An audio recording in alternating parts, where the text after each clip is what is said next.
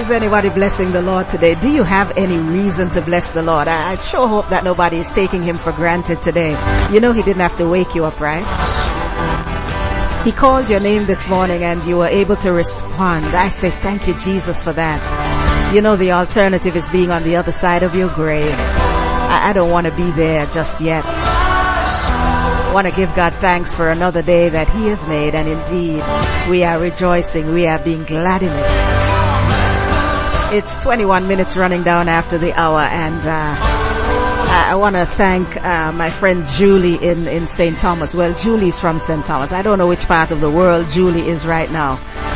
But, but Julie has uh, arranged for our interview for today with Brother Nigel Lewis out of uh, Trinidad and Tobago. Hear this song now. Listen to this song. Listen to this song.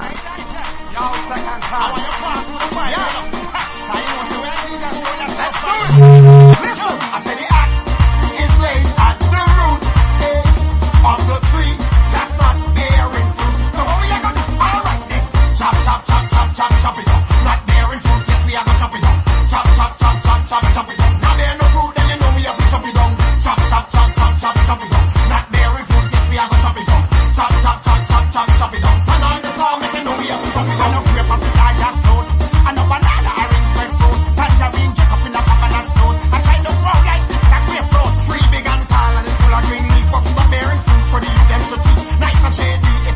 All right, you would recognize two voices there, I am pretty sure. One is Nigel Lewis and the other is Second Chance. This is from his latest album called N-O-W Now, No Other Way, No Other Way. Brother Nigel Lewis, do we have you on the line today?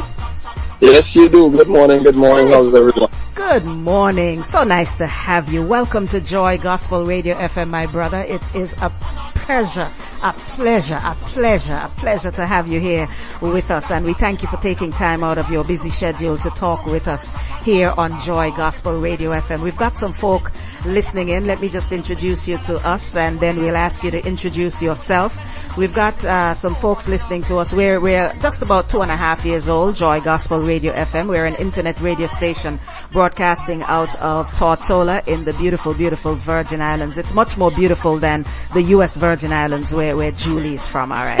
I'm, I'm just throwing shade right there, Julie. That was for you.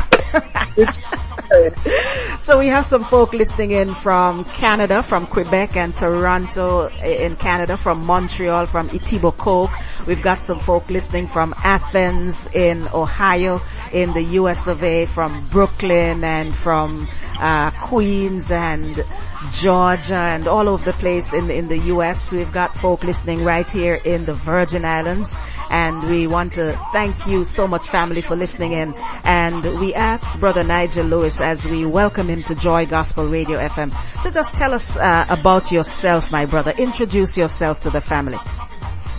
Well, my name is Nigel Lewis, of course, everybody knows. I am from the island of Trinidad and Tobago uh, specifically Tobago, which is where I was born. Um, I went to, I moved to Trinidad in 1970. Uh, I went to school there, did education there. Uh, ended up in this, the far end of the island called Toco, where I actually got into the music a little more deeper because I've been singing, I've been on stage since I was five, doing plays and singing and, you know, all that stuff. So since I was a little boy, I was on stage. And uh, I got onto the music scene professionally in 1989 uh, when I joined my first secular band, uh, which was a band called Blue Ventures. And from Blue Ventures, I moved on to a band called Atlantic. From Atlantic, I moved on to the band called Cape and the Okay, I, I, think I think we're having a little difficulty with the connection. I am not hearing you properly. I'm not sure. I'm going to ask for feedback from the family, but it, you're fading out and you're sounding a little hollow. So I don't know if it means just putting your your mouth a little closer to to the speaker on the phone. Okay. That sounds better. That sounds better. Yes, man. So can can you just start again by just encapsulating the, the, the Nigel Lewis? Who is Nigel Lewis? Okay, well, Nigel Lewis is an entertainer from the island of Trinidad and Tobago. Um, specifically, I came from Tobago, uh, which is where I was born, and uh, moved to Trinidad, as I was saying, in 1977. did all my music learning there, became a household name on the music scene in 1996 with my first hit song, Moving to the Left. Then I followed it up the following year with another hit song called uh, uh, Follow the Leader. And then the following year I followed it up with another hit song called Take That and Cool It. And then I went to church. That's just to give you a, a quick synopsis of, of, of who I am. And then I just went, I went to church, got up, was bored, got up one Sunday, went to church and never came back. Never came out. Wow, wow. I, I, I was in the world myself, so I remember moving to the left. I don't know what left you were talking about, but mm. I, I, remember that song. Didn't you Christianize it, did you? Yes, I did. Yes, I remember that. See, so I, so I know you from a long time. Yes, yes, yes. And we, we're grateful when God can clutch us out of the hands of the enemy and use yeah. us for his glory. So, so you said one day you just got up and went to church. That's how dramatic it was? yeah, I didn't, uh, you know, most of the time when you talk to Christians, they always had to go through something that would catapult them and bring them closer to God and put them in church. Uh, before I went to church, the year before I went to church, this is how it actually happened. Uh, uh, back then I didn't have a car and I was, uh, literally walking to take a taxi to go to rehearsals, uh, with Roy Keith in 1995. And while walking, I decided that day that I was going to talk to God.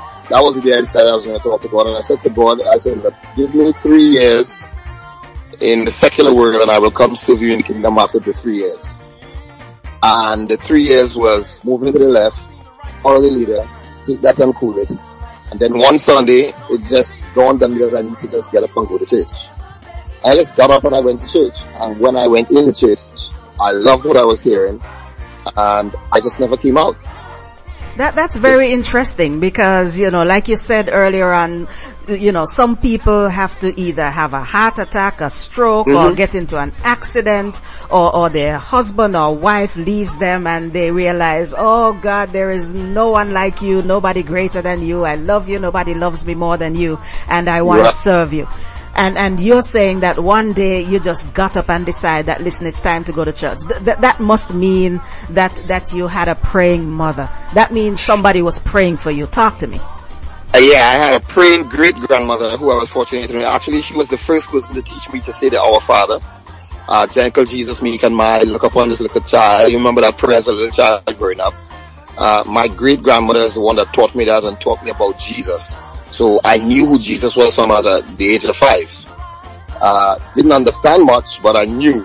I got baptized when I was 14. Still didn't understand much, but I knew. And as I got older, I knew who Jesus was, but I still didn't have the proper teachings and, the, uh, you know, to know certain aspects of it. And I was doing little things that I didn't even realize was biblical until I actually got in church and started listening to the word and hearing the word. Like for instance, when I told you about 1995, the day before I decided to talk to Jesus, I took out a pen, a pen and piece of paper and wrote down the vision of what it is I wanted and what it is I wanted to accomplish. And I accomplished it on the paper. What was on the paper was accomplished. And, uh, and in reading the word, I realized that, oh, he said to write the vision down and make it plain so that he can, you know, and, and I was, um, wow, so I was blown away by that. So I had a praying grandmother. I had a praying uh, great grandmother, and my aunts and uncles and all of them, you know, always pray for me. And, and I had close people who were close to the family that always pray for me. So yeah, I had some praying people. Amen. And Faye in Toronto, Canada is saying, come as you are, come as you are. Yeah. And so we're giving God thanks for, for clutching you out, as as we said earlier. Now, let, let's talk about your upbringing. Uh, we spoke to positive. I was alarmed to find out, not alarmed in a negative way, but just alarmed to find out that he was actually from, or he is actually from Tobago as well. You know, when we think about yeah. Trinidad and Tobago, all we say is, you know, Trinidad and Tobago, and very often we just say Trinidad. We forget about yeah. the little island called Tobago. But I'm from a little island myself. I'm from Montserrat, and I live on a little island called Tortola. So I know about little islands, and I appreciate little islands because I know out of little islands can come some giants and you're one of them. Talk to us about your upbringing in Tobago. Well, as you would know, I'm not sure if you know, but the people of Tobago, we are a little bit different than the people of Trinidad in the sense that, uh, in the sense that, um, you know, they tell you that it takes a village to grow you up. Well, the village literally grows you up in Tobago. If you are doing something out of order or out of hand, any adult can, can um, put you in a place. Literally. And there is nothing you can do about it. If you go home and, you go home and you tell your mother or your grandmother or whoever it is that so and so hit you, they will say, what did you do? And then you probably will get another beat down. You know, if you say, well, I didn't do nothing, so he, they, you know, they, will- they will tell you, so you're lying, so they're lying on you, so they just automatically come up to you and just hit you just like that.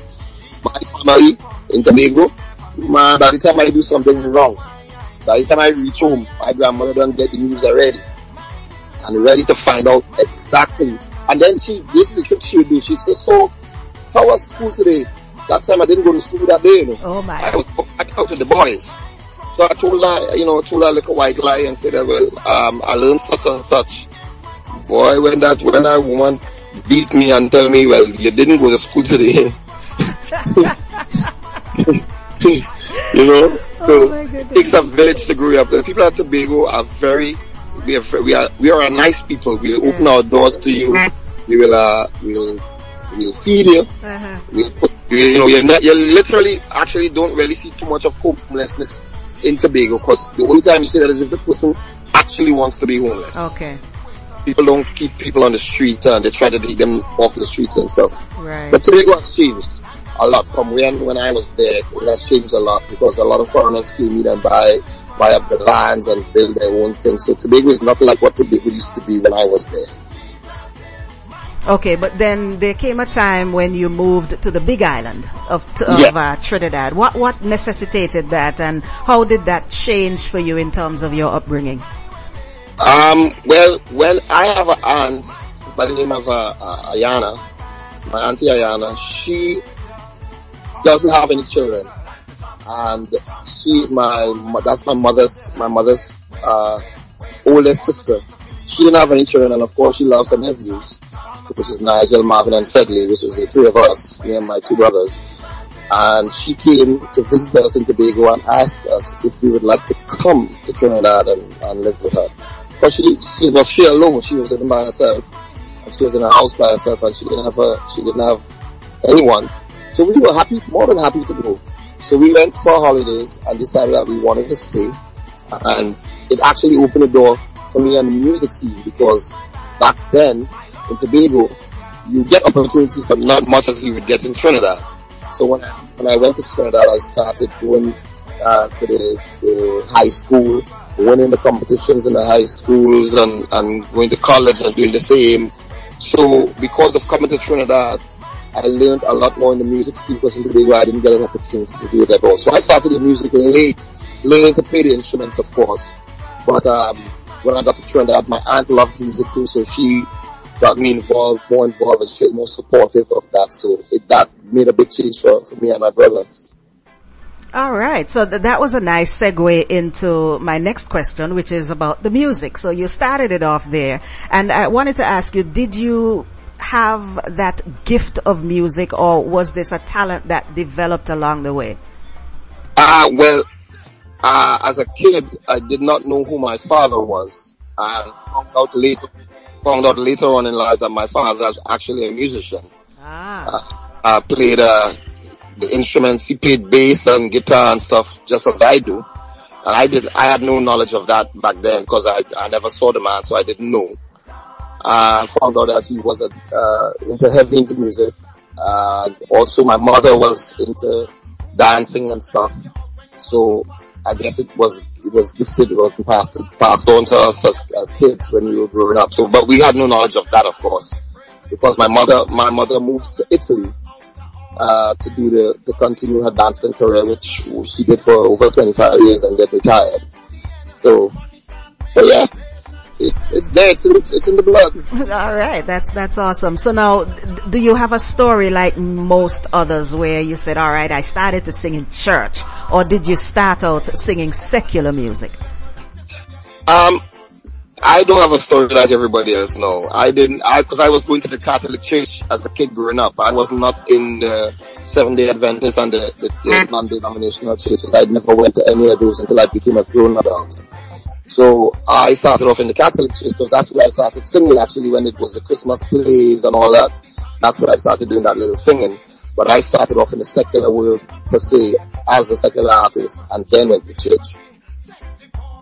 So then when, when you uh, got converted, when you joined the church, how did your ministry develop, Nigel? How did your ministry develop? Well, well, when I joined the church, I sat myself down for a minute to get fed on the word, to know what it is I'm going to be writing about, to find out, to find out what the direction was that God wanted for me.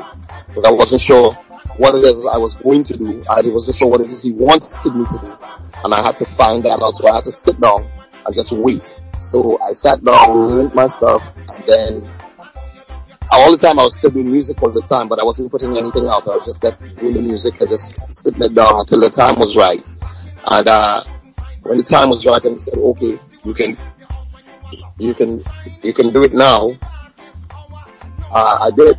So that's that's basically just what happened. It, it wasn't anything major, but I just sat myself down and learned the word.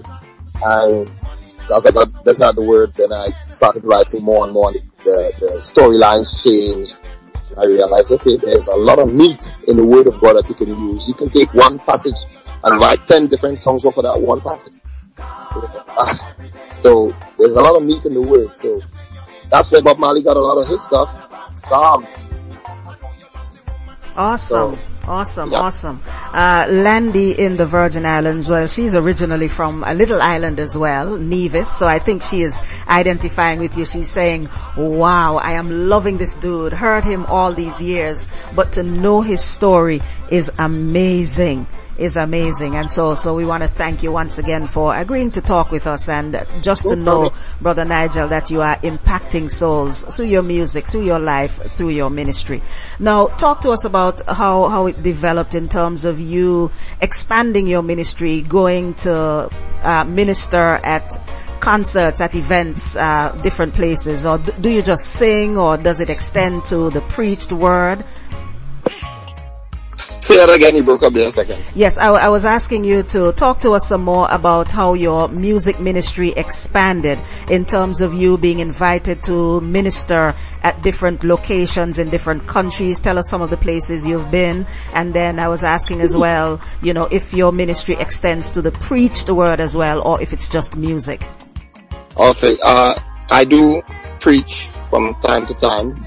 Uh, a lot of people don't know that, but I, I do preach from time to time.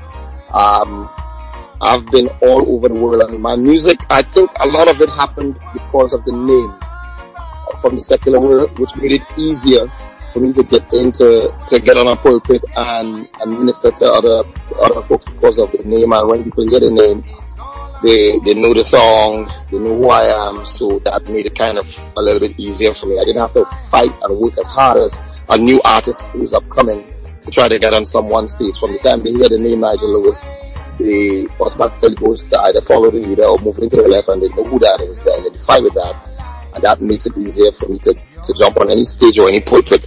But my, my ministry is a little bit different to Kirk Franklin, to Positives, to all the other artists from what God has mandated me to do. And uh, some people can identify with it, some don't, and which is okay by me because I, I, I'm just doing what the Lord tells me to do and not what man wants me to do. And the, the my my um, ministry is based really on entertaining the kingdom's people. So I'm a kingdom entertainer, not as a Donnie McClurkin and, and, a, and, a, and a, I'm not churchy churchy the way how the other artists and the mic. God says that he, that's what he wanted me to do, so that's what I am doing. I'm doing what he mandated for me to do. Some people could understand it, some people can't. Uh, but I'm following the word of God. I'm following what, what my Lord and Savior told me to do. And that's what I'm doing. So I'm in the kingdom's entertainment. I'm a kingdom entertainer. I entertain kingdom minded people. Because, uh, kingdom folks like to go and hear jazz. They like to go and hear the music also and like to hear love songs and whatnot. So why not give them something from somebody who's kingdom minded that will allow them to stay in church because sometimes they take a, a, a chance and go to one of these clubs or something to hear some music and to dance and then they get pulled right back into the secular world. So that's why I'm doing what I'm doing. What I'm doing is totally different to what everybody else is accustomed to. All right. Uh, two things I, I want to expand on out of what you just said. You're doing what God wants you to do and not what man wants you to do. You know, we, we, as Christians, sometimes we tend to get in trouble with that because we know that people have mm-hmm. expectations and I'm in a okay. particular little situation myself with that, you know. People have expectations of what they want you to do, who they want you to be and all exactly. of that. And, and so when you take a stand and say, listen, I am hearing from God and God is saying, do this, do that. It may not be pleasing to your particular follower or followers at that particular time, but mm-hmm. you are determined that you are going to do what God says that you should do. I want you to expound on that a little bit for me. Talk about your conviction in that regard. Well, um, it's it, that's it's very simple. I have when I was when I started, I realize that whenever I try to do what people want me to do, it never works the way it's supposed to work. And this is even coming from even when I was in the secular world. And when, when the Lord gave me the mandate, He said, now, you're going to get people, the naysayers and the haters and the people, the, the, the, what we, what I like to call the heavenly minded people about no earthly good. you're, you're gonna encounter a lot of them. And, but the thing is, when I encounter them, they come if they don't have anything to say, I just let them know. If you don't have anything good to say, don't say it because God didn't deliver me from telling people, speaking people off. I'm so sorry, but I, I keep it real. If you come at me the wrong way, I'm going to tell you. I'm going to put you in your place, basically. I am not here to save you. I'm here to save my Lord and Savior Jesus Christ. You saved already. I am not trying to save you. I am trying to save those who are not saved or those who are on defense. You know, you have the people on the fence, they're Christian, they're borderline Christians. They're one foot in the door and one foot out. Those are the people, you know many people I have met who said that they were, they thought church was boring until they saw stage, until they saw me in a pulpit. They thought church was boring, so they just didn't, they loved the Lord, but they just couldn't deal with the boringness of how some of the preachers and teachers go about it and how some of the music is. You cannot sing Amazing Grace as the way you used to sing in the 70s and the 80s now for these young people and then if you're trying to save young people. It is not going to work. It is not going to work. And, and, and the sooner uh, some of these pastors and preachers and teachers get that in their head, they will realize that they will get a bigger following from the young people. If they allow the young people to be the young people, let the young people be themselves and guide them, direct them. But if you're trying to give them amazing grace Amazing grace. Oh, sweet. You know what? They, look at you in your face and like, you crazy. They don't want to hear that.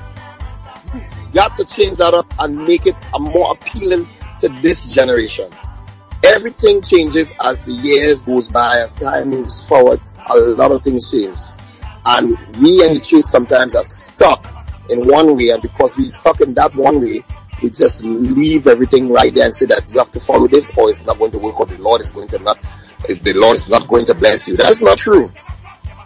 When you look in the Bible, Moses killed a man, David was an adulterer, Jacob was a liar. You, all these people and them did stuff, but guess where they are? They are in heaven. So when we sit down there and say you're not going to make it to heaven because you do this and blah blah blah, you've been doing this, that is not true. We, we talk about pastors and preachers who have fallen from grace. Those same pastors and preachers who are fallen from grace, they're going to heaven too. Don't get it twisted. They're going to, they, because they, there's the relationship. It's about the relationship. When you have that relationship with your Lord and Savior, you're mm. going to make mistakes. The devil is going to come at you. He's going to attack you. You're going to be attacked. You're going to be, people are going to say stuff about you is what it's not what they say, it's what how you deal with what they say. There you go. There you go. You understand? I like so that. I do what I have to do and people more than like most like more than more than and I get more positive than negative from from folks. Then you have the folks then who just don't understand how it's like to be singing what I'm singing and I just say, but this is not for you. This ain't your cut.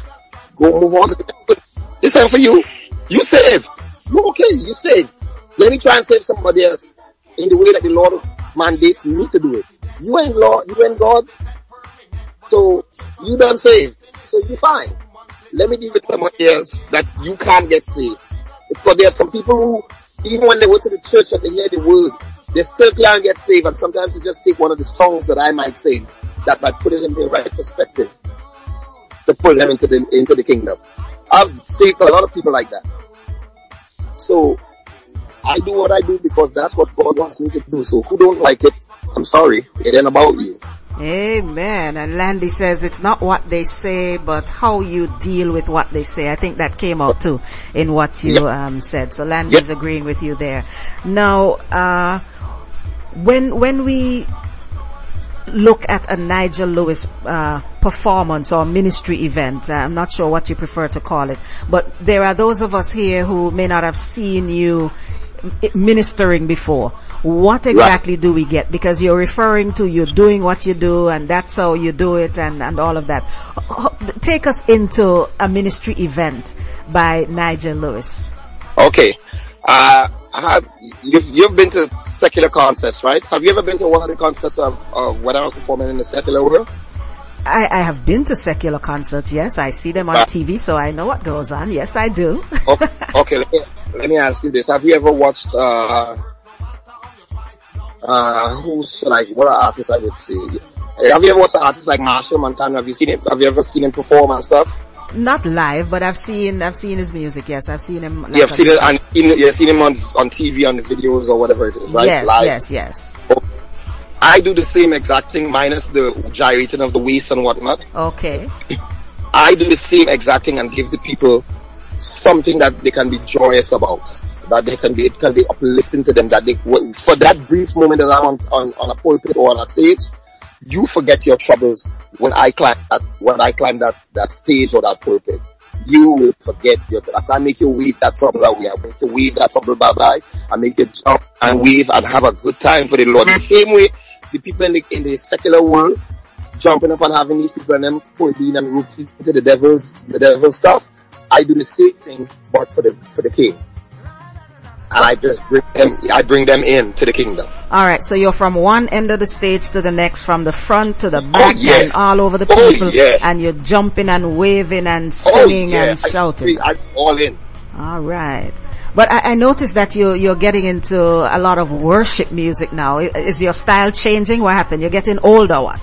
no, uh, this um, I, I, you know, as you're saying that right now, what has happened is that um, the Lord has to me that I need to do a worship CD. I'm going unorthodox as I usually would go. So I put my feelers out and I start just putting a one-one worship song here just to see what the what it feels like, what the people will what, what the people will um, accept how they would how they would deal with it when I when they hear me sing a worship song because normally they always hear me singing fast stuff and I was going crazy. Uh, and I actually this Sunday I just came from uh, the Bahamas and I actually sang Unrestrained, which is on the Now album, and uh, was well received. And when I when people were coming to buy CDs, they come in to buy CDs for two songs, Chop It Off and unrestrained. Do I have unrestrained? Do I have, do I have uh, Chop It Down, which is on, of course, on the same, same album. And they were loving it. And I was like, wow. So right now I've just actually wrote down the 10 songs that are worship songs that I'm about to do on my worship album. Uh, I don't have a name for it yet, but I have this worship album I'm going to do of 10 songs of just pure worship. So I'm not changing the style, but I'm just doing something different to give people a you know a different something different from me that they've never actually heard from me from before. I, I, was about to ask if if you're changing, but yeah, you know you've gotta mix it up because you know you want yeah. to appeal to all audiences, I believe. Yeah. And so that, that's awesome. We definitely look forward to that. I, I do love all, all of the songs. Uh, Sister Julie has been setting a sister up with some of the songs from your, your new album and you, you have a Christmas album as well. That's the first. Yes, I, brand new Christmas album called Wonderful Christmas uh, that I, that I just put out also. So you know, people, my stuff is on iTunes and it's on on CDBaby.com, so they can go there and they can take a listen. And they can hear all the stuff that I have. So you go in there and they put wonderful Christmas, it will pop up. They hear the new stuff. Uh, some of the old, the old Christmas songs that I brought back and gave a new feel to, and then of course, uh, songs on there also. So yeah, so no, it's, it's, it's interesting, and I want to go back to to your stance in terms of how you choose to minister because of what you have heard from God in terms of how you, you know, should try and, and reach the people. You know, we, we talked to a couple of folk who are just so, and they're not, they're not old folks either, but they're just very averse to having let's say, let's caption it now, your type of ministry or your type of gospel music coming into the church you know, recently we spoke to somebody and they were like, you know, that is not a good thing at all. You know, we're bringing the world into the church and they were just going on and on and on. How, how do you talk to people like that? So, so what did Jesus tell the people to do? Wasn't it, wasn't it to go out into the world and preach the word? So if we stay in the church and just keep it for ourselves inside of the church, what are we doing? We are not doing anything.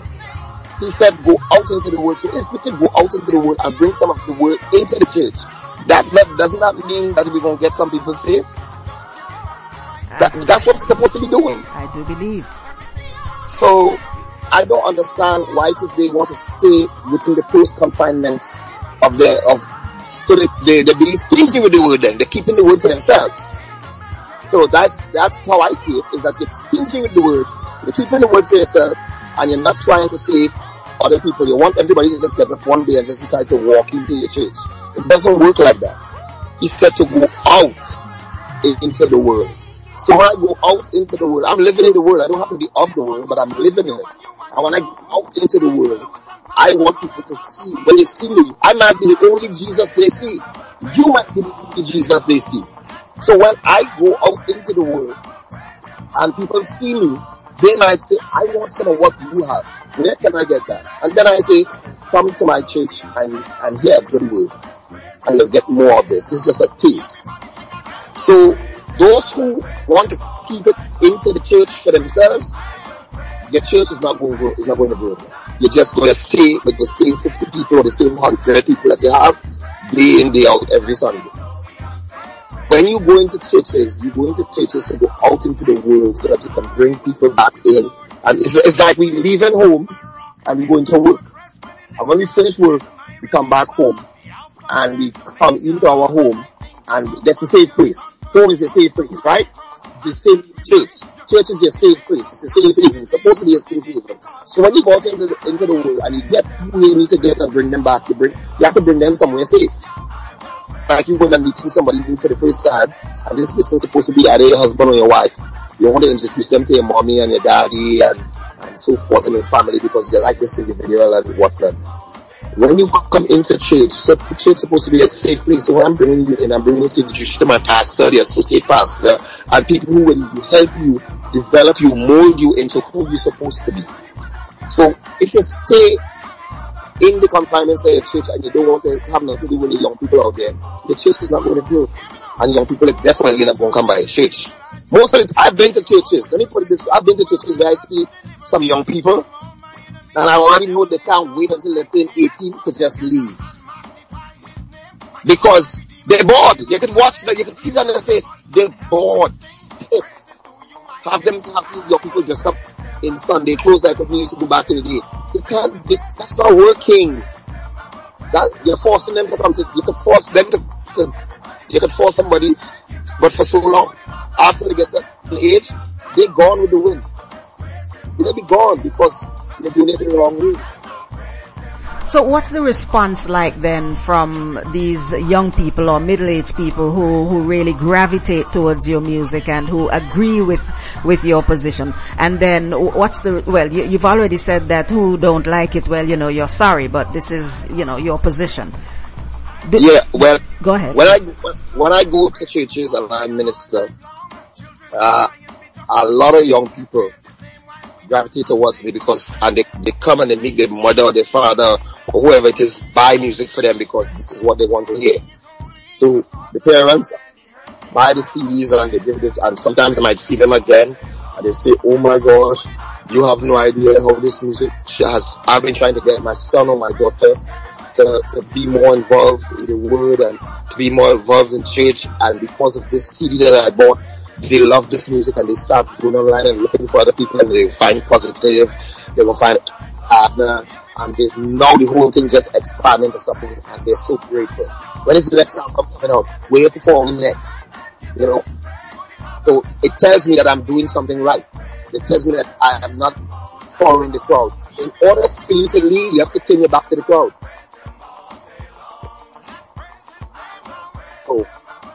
So that's what I do. Amen. I try to be a leader, not a follower. And when I lead, I try to lead. And, and I and, and for some strange people, some strange reason, I don't know, I'm not sure what it is, but a lot of young people gravitate towards my music and uh, gravitate towards me as an individual. So I always have to be talking to young people and trying to get young people to stay the course. And you know, I chat to them all the time and talk to them and try to keep them, you know, whenever, and I, I don't know, it's, I mean, they feel safe talking with me. Some people come and tell me stuff that they wouldn't even tell their, their, their parents. Their parents know that they're going through such and such thing. Like, I had one individual one time who wanted to commit suicide. And but because, you see, I learned this from TD Jakes. If you don't, if you haven't been through it, you can't preach it. And I've been through it. I've tried to commit suicide before. So I know. I know. So when that individual came and spoke to me, I was able to, to walk that person, uh, to a better, uh, a better tomorrow. Because, and, and, and the girl said she don't know why she just came and spilled her guts to me. She don't know why she came and started talking to me. But I realized it was just God. The things that I've been through, it wasn't just for me to keep for myself, it was me to help somebody else. So, I can sit here and I can give you stories on so many different things that I've been through, trying to commit suicide, you know, homelessness. I've been there. Been there. You know, so That, that's, that's interesting. fire. Yeah, that's that's interesting. I mean, you, you know, when, when you've been through, you definitely are able to empathize. As as you know, it's more than sympathize. You know, you can talk to somebody based on what you see oh. going on, but if you've been there and now you are out, you have been delivered. You, you definitely can talk to somebody from a more informed perspective and you know we bless God for, for your ministry indeed. Uh, Landy's contributing in the chat room here and she's confirming what you're saying because she is a music buff. You know, anywhere there's a concert, she is there and she knows about all of, all of, you know, the, the gospel music ministers. She says Nigel Lewis does have an audience because there are people out there for every genre of gospel music. Indeed. And she has related that you've been to Tortola before when you were in the secular world and when you were a Christian, right? Yes, I've been to Tortola. I came there for Pastor Turnbull. Ah, yes. Yeah. Yeah, I came there uh, a couple of years ago. That was 2008 or 2009, somewhere around there. But I haven't been back since. I've been longing to go back, but I haven't been back since. All right. Well, I'm, I'm sure Julie will, will organize something pretty soon and we would love to have you on, on Tortola, you know, uh, so Uh, to come to Tortola and, and preach and teach and, and, and just have a wonderful time with the young people. I would love it. Oh wow, Julie, Julie, are you listening? All right. Okie dokie. So, so now let, let me ask you this. With, with the stance that you have, Brother Nigel Lewis, in terms of your music and your ministry, you, you, do, do you find that you get, uh, looked over for certain events? Do you know definitely that there are some people who are definitely not going to invite you on the, on, to, to be on their concert?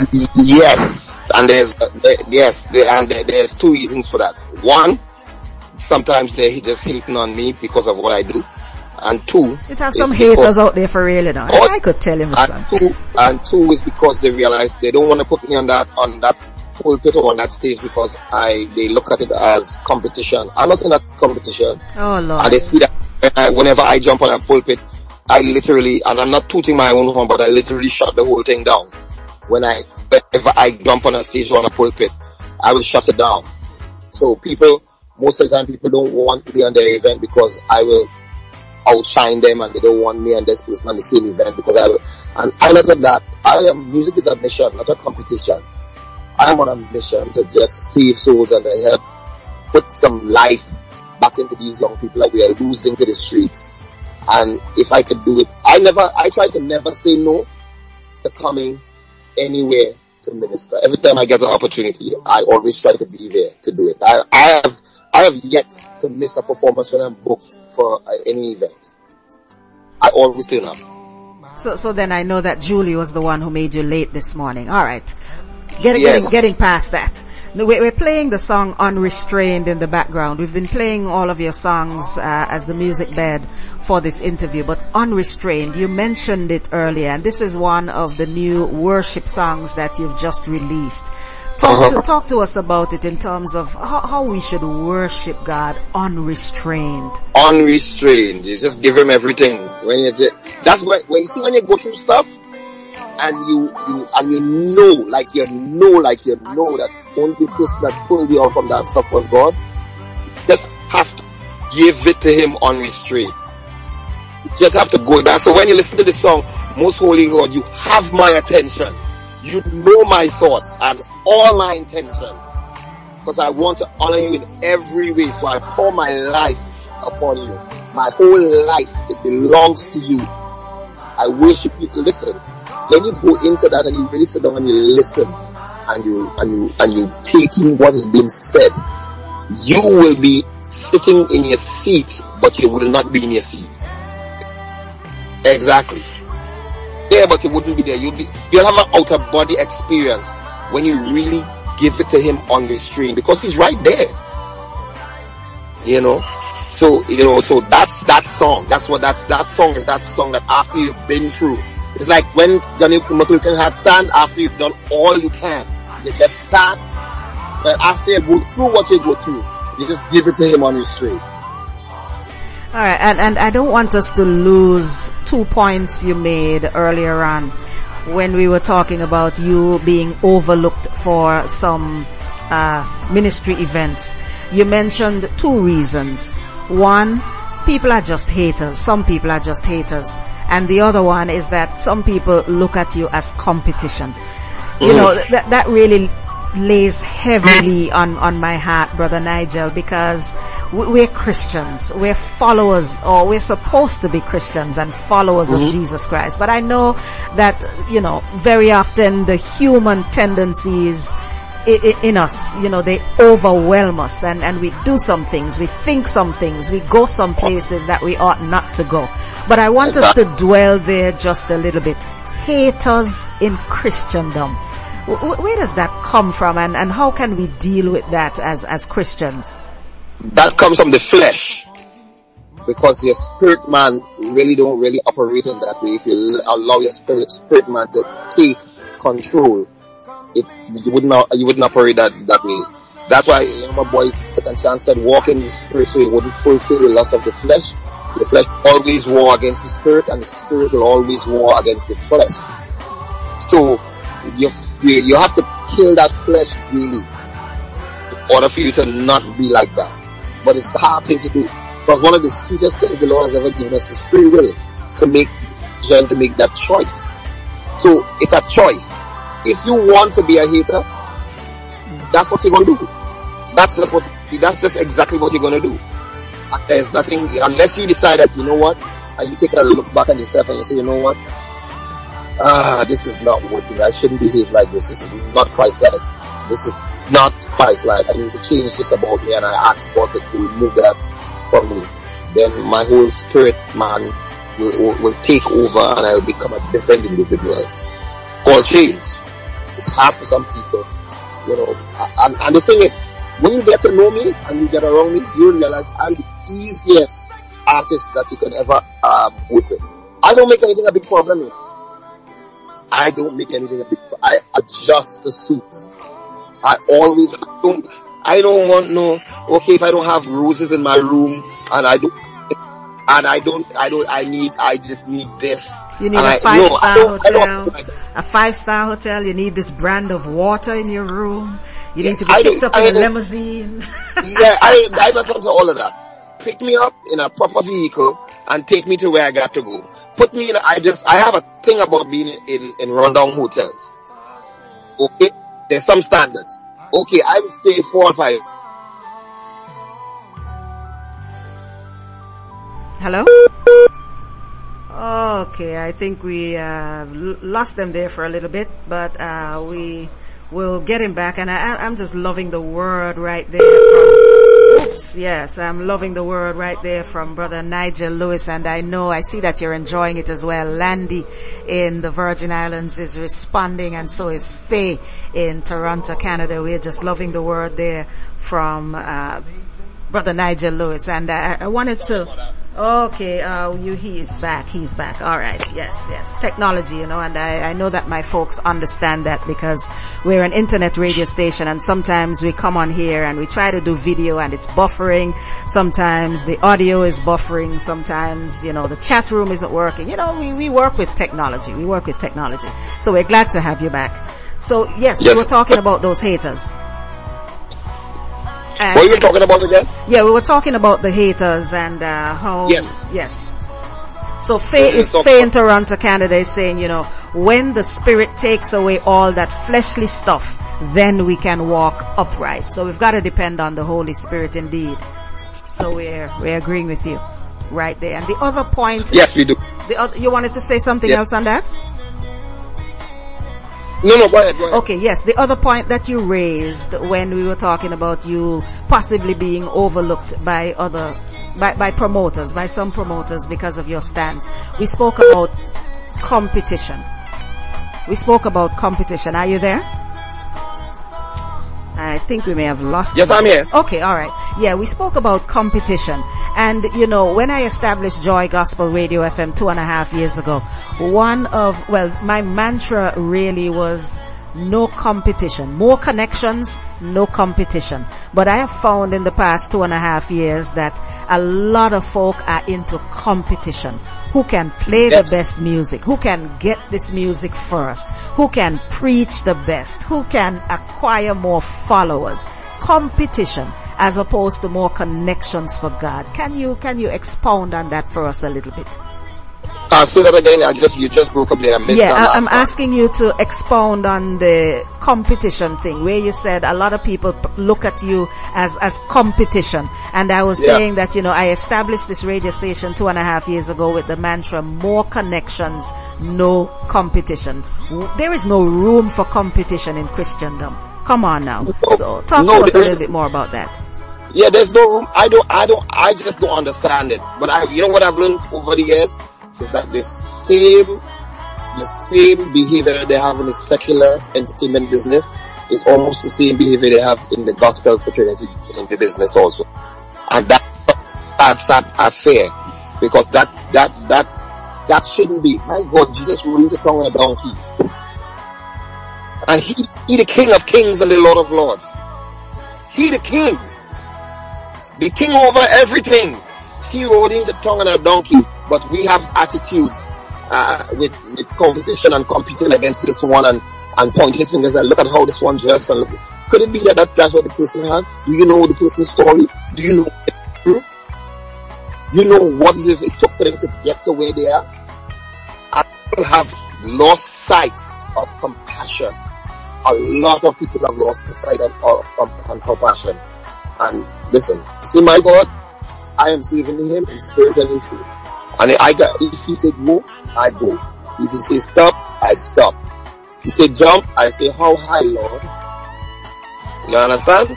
So, I am not, when they're competing, they're competing against themselves because I'm not in the competition thing.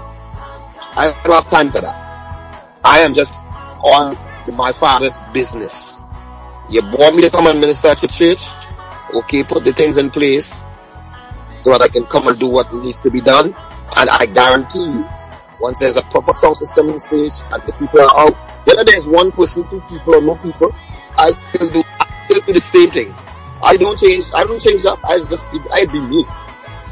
And I will do what needs to be done and leave people, I guarantee that you'll be happy when, you, when I'm, when I come off the pulpit. Because that's what I do. So, so you have no fear whether whether somebody chooses to invite you to a particular function uh, no. or not. You know, it doesn't. No, it doesn't matter where you invite me. Once I once I'm coming to do the Lord's work, will I'm there. All right. So so where do you find your? Go ahead. Sorry, people. I remember one time they brought me uh, this year actually, right here in South Florida. uh, in the city of Miami, Miami Gardens, they were having a big, a big, uh, secular event. And they had, they needed, they only, they only wanted one gospel act. I was the one gospel act. And they put me right in the middle of the event, in the middle of the show. So I was on like around nine o'clock.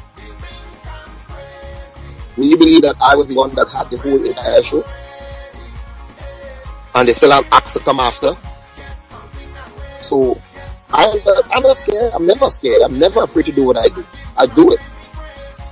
So you can put me in a secular event. I'll still do what I. I'm still do what I was supposed to do, and I will still make it have a good time. And you forget your problems, and then people come up to me after and say, "That was gospel music." I'm like, "Yeah." So do you, did you just say that you would minister at secular events as well? You know, some gospel yeah. music ministers, they, they stick to the church and they stick to the gospel concerts. Don't call them out to minister at a secular event. Wh- why do you do that? Because he says go into the world. So I go into the, into the devil's lair to get my people out. And, and you make no bones about that. I go in. Yeah. I have I have angels behind me, in front of me, at the side Amen. of me that's looking out for me. So I don't have to be afraid of. Amen. Amen. So where do you find yourself ministering these days, Nigel Lewis? Well, I just came back from um, from the Bahamas. I just did a, a thing called Jesus in the Park, where we were where we were um, literally doing stuff for the hurricane victims. Uh, recently, that people, a lot of people had their homes damaged and, and churches were falling apart and whatnot. And I went there with uh, with a couple of friends and we did a, a what is called Jesus in the Park. We had we had a lot of care packages, about 400 care packages that we gave out to families to help them get back on their feet and, and minister to them and, and, give them good music. Next up is uh, where am I going? I'm going to have a concert here in Miami on the second, and I just got booked for something in, in Freeport on Christmas Day. In where? in Freeport, in the Bahamas. Bahamas, okay, alright. Uh-huh. Yeah. So I'll be in Freeport for Christmas Day to do a concert up in Freeport on Christmas Day. I'm not telling Julie, she just look at the guy. I didn't get a chance to tell her yet, so she don't find I, I, am, I am not getting involved in that one, Sister Julie. does look at mystery like, oh my god, this Negro, he just didn't tell me this, this thing before. Oh my goodness, that that's how it is sometimes. That's how it is. Yeah. So, so that, that's oh, that's yeah. really awesome. We're we're looking forward to to seeing you here in the British Virgin Islands uh, sometime soon. And, you know, we really hope and pray that that will happen really very soon. And we, we trust well, I'm, that. I'm hoping that I'll, I'll be down there for the, to bring in the new year in Tortola. I would love to. You know, I got a few people looking at me. I'm waiting to see to hear back from them. Hopefully they'll they will um, call quickly because I have a, I have a few churches that are looking at me for watch night service. I haven't been booked for that as yet, so the door's still wide open. So first come, first serve. Absolutely, absolutely. So, uh, if someone wants to get in contact with you, Brother Nigel, are you open for that? Do you, you know, are you on social media, that kind of thing? Yeah, I am. A, I am on social media. I'm on uh, Instagram, and I am also on. Um, I am on Instagram, and I'm also on uh, uh, Facebook uh, as a uh, Nigel Lewis. You to find me on Facebook, you have to put Nigel Lewis Sound Mind. Sound Mind. Yes, you know he give us the Sound Mind. Ah. Uh, yeah. So, so, um, so yeah, so you can find me there. And, uh, you can find me on Instagram. You can also, uh, how else again? That's just about it for now. All right. Well, you know, we want to thank you so very much. I actually been wanting to talk to you for a while and then I saw a, a clip on, on Facebook circulating with you in a church in, in Florida. And that jogged my memory again. I'm like, oh yes, yes, yes, we need to talk to him. I tell you, that, that was wild for the want of a better word. I tell you. Yeah, so. It was what? Atlanta. Oh, that was in Atlanta. All right. Yes, yep. yes, yes. I, I, tell you. And uh, you, you have locks, don't you? I mean, a lot of folks aren't seeing you today, but you have locks. Uh, it, w- what does that represent? I have locks too, and I can tell you okay. what that represents. well, mine represented a style when I started because it was in the secular world. When I when I went to church, I was going to cut my hair, and then the Holy Spirit said, "No, I have to leave my hair so that people can." Because a lot of people tend to think that when you have dreadlocks, that you either have to be doing drugs or you was a Rasta man or. I was I was none of the above. Uh, I never smoked. I never drank. I was never into drugs, even when I was in the secular world. So, but the Lord is using my dreads to let my dreadlocks to let people realize that okay, it does not become you because a lot of people tend to it's your heart. I tend to, to think that it's because of how you look. They, you can't be a Christian, and I have people come up to me and say, "You're a Christian with your dreadlocks." So, what I got to do with anything? What the dreadlocks got to do? It's got nothing to do with it. Uh, I'm, I'm Samson had dreadlocks. Some people say you know, but my hair is my strength, so that's what I was told. That's what the Holy Spirit said. I have to leave it. I leave it. I don't mess with it. Amen. I, I keep it neat. I keep it clean, and I try to not let get like all the rastas and then the true rastas and then have the right the bongo nati ah. kind of thing. Yeah, I was never into that, so that was not my thing. You know, so that that wasn't me at all. Absolutely. So that's your story and you're sticking to it. My story is that, yeah, I, I cannot deal with the chemicals in my hair. I tried from the Jheri curls to the perm and the straight and it, it, no matter how mild the chemicals were, it just burned my scalp. And so for okay. my comfort and for my safety and for my health and all of that, dreadlocks for Angela Burns. And I don't it, care what anybody says. Amen. Man, I'm with you. Cooking with gas, as we say. You, that, that, may have, that may have come across a little harsh there, but I just saw.